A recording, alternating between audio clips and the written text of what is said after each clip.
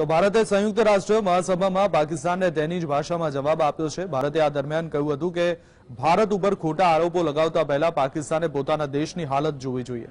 ભારતે સ્પષ્ટતા કરી હતી કે જમ્મુ કાશ્મીર મુદ્દે બોલતા પહેલા પાકિસ્તાને ઇસ્લામાબાદથી સરહદ પાર આતંકવાદને રોકવો જોઈએ. ભારતના મુખ્ય રાજદૂત મિઝિટો વિનેટોએ આ વાત ભારત તરફથી કહી હતી. તેમણે આ જવાબ માટે સંયુક્ત મહાસભામાં રાઇટ ઓફ રિપ્લાયનો ઉપયોગ કર્યો હતો. વિનિટોએ કહ્યું કે આ ખૂબ જ દુઃખની વાત છે કે પાકિસ્તાનના વડાપ્રધાને આ પ્લેટફોર્મનો ઉપયોગ ભારત ઉપર ખોટા આરોપો લગાવવા માટે કર્યો છે તેમણે આવું એટલા માટે કર્યું જેથી તે પોતાના દેશમાં બની રહેલી ઘટના ઉપર પડદો પાડી શકે અને ભારત સામેની પોતાની વર્તણૂકને યોગ્ય ઠેરવી શકે જે સમગ્ર વિશ્વને સ્વીકાર્ય નથી તેમણે આતંકવાદ મુદ્દે પાકિસ્તાન ઉપર પ્રહાર કરતા કહ્યું કે જમ્મુ કાશ્મીર અંગે બોલતા પહેલા પાકિસ્તાને ઇસ્લામાબાદથી સરહદ પાર આતંકવાદને રોકવો જોઈએ and seek to illegally integrate them with its own. But it is not just about the neighborhood that we have heard false claims today. It is about human rights, about minority rights, and about basic decencies. When young women in the thousands from the minority community are abducted as an SOP, what can we conclude about the underlying mindset? Mr. President, the desire for peace, security, and progress in the Indian subcontinent is real. It is also widely shared, and it can be realized. That will surely happen when cross border terrorism ceases, when governments come clean with the international community and with their own people, Jammu કાશ્મીરના પૂર્વ મુખ્યમંત્રી અને PDP chief Mehbooba Mufti પાકિસ્તાનના વડાપ્રધાન શાહબાજ શરીફના સૂરમાં સૂર પુરાવતા જોવા મળ્યા તેમણે કહ્યું કે જો પાકિસ્તાનના વડાપ્રધાને જમ્મુ કાશ્મીરનો મુદ્દો ઉકેલવાની અને બંને દેશો વચ્ચેના સંબંધો સુધારવાની વાત કરી છે તો તે થવી જોઈએ મહેબૂબાએ કહ્યું કે જે રીતે વાજપેયીજીની સરકાર દરમિયાન બંને દેશો બેસીને વાત કરતા હતા તેવી જ રીતે જો બંને દેશો જમ્મુ કાશ્મીરનો ઉકેલ શોધી લે તો દેશ માટે પણ સારું રહેશે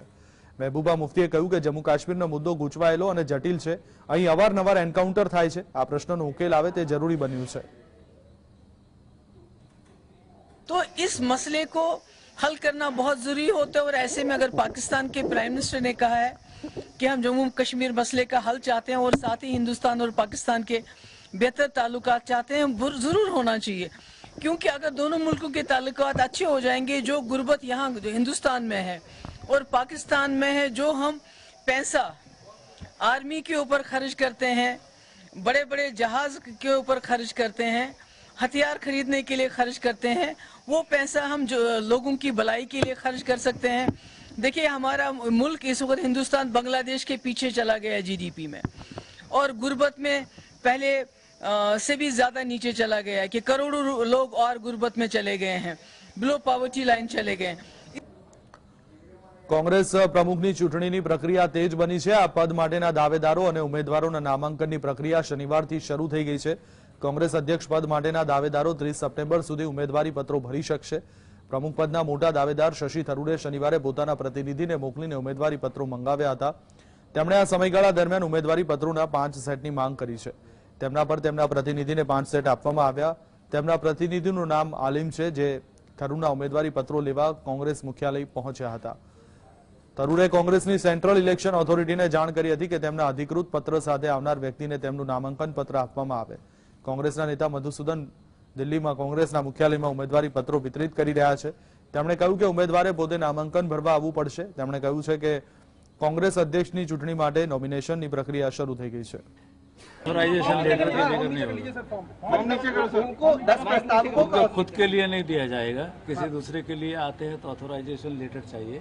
तो हम देंगे फॉर्म बिना बिना ऑथराइजेशन लेटर दस प्रस्ताव प्रस्तावकों के बिना आप फॉर्म नहीं देंगे किससे किसको प्रस्ताव को कर रहे हैं वो अगर जो डेलीगेट नहीं होंगे तो वो फॉर्म नहीं भर सकते